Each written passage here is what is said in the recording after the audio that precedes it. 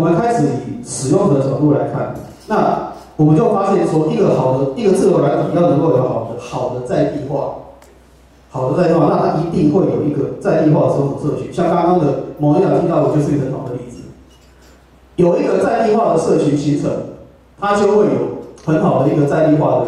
的的成果出来。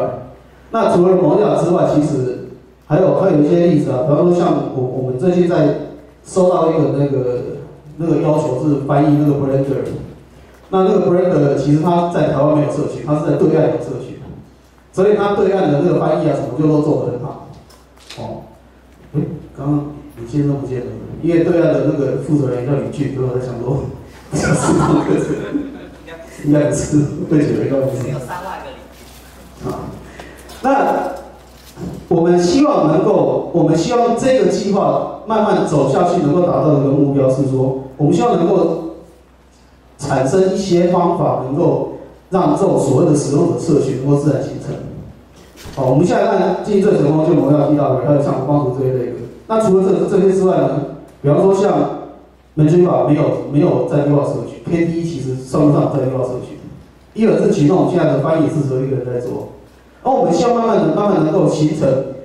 让让这些在地的社群能够自然形成，然后提供各方面管道让大家一起来参与。所以呢，我们我们慢慢的在开始再加一些新的东西，比方说像那个 Feel Free 这个讨论区，为什么我还要再弄个讨论区？其实是因为现有的那个讨论区其实还是毕竟比较是属于技术走向，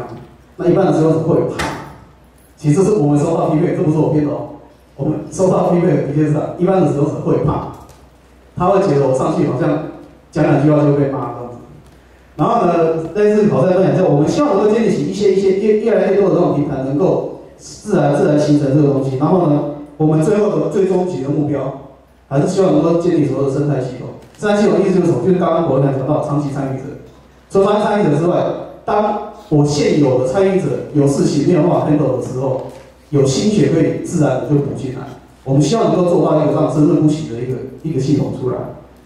这个是我们微大计划的终极目标。好，那我们现在回到为什么要把这个专利产品单独拉出来？因为这个东西是我负责的。好，这个东西我负责。那它的目标其实就是建立一个翻译平台，可以降低这个门槛。那这提到一个问题，为什么我们还要再做一个？我们已经有有一些像铺头或者是像 c o n t r a 这样的平台，为什么要再做一个？那关于这个问题，其实我们可以可以再谈更多。但是我想，现在这个场合呢，我只讲一句话，就是在那个时间点，自由的不好用，好用的不自由。简单讲就是这样子。所以我们决定以那另外，其实这个东西本来它在形成的时候。本来开始我们老大在找我的时候，他不是找我做这个平台，他是希望我以天一协调者的身份能够跟他合作。那对我来讲说当然好，我无所谓啊，反正我是 K D 的老大，我也是 K D 的老幺，反正就我一个嘛，我无所谓，我就跟你合作，OK，这没有问题。但是到最后，因为我们也是找一个国网国网中介工工程师帮忙，但是呢，既然是帮忙，他就有工作时间的限制。然后呢，他一开始用铺头，那个的确也是有一些限制在，所以呢，我们后来就思考说，那我们干脆以专案形式方式，但是我们开发出来，让它变成一个自由软体。那当然，我们在经营的原则上面，我们必须要确保翻译成果一定可以提交。那这个东西也是我目前都已经有做到，就是我们翻译出来的东西其实都都考虑回官方去。好，那这个东西其实我稍微列一下，我目前在上面稍微大型一点的专案哈。那像启动下来 p a s t e r 他也是自己一个人在做了。那我们也是取得说 OK，那这些当做他的一个 s c r e e n source。然后呢，像其实我我呃这些后面的，比方说像 Inkscape 啊、v i o 七啊、都是 r 的，这些都是使用者 feedback 回来给我们说，希望能够把这些的翻译等卖放到我们平台上。那最近我接收到了一个，等一下，不好意思。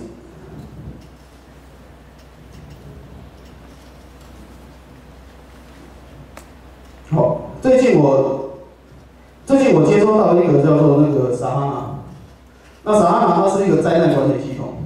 它是一个灾难管理，它其实就是像我们这是风灾，然后它就会有一些什么自工管理啊、灾民协寻啊这一类的东西。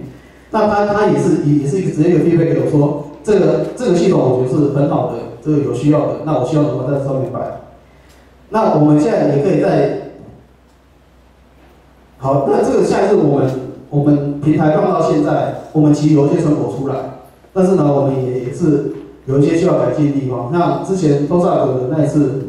那次聚会，我们其实有听到一些有一些还蛮不错的 feedback，那也就是我们还需要再检讨。好，那其实比较大的问题，第一个是那个多维语的架构啦。我们有留多维语架构，但是呢，目前的网页本身是写死的，也是一样写死的。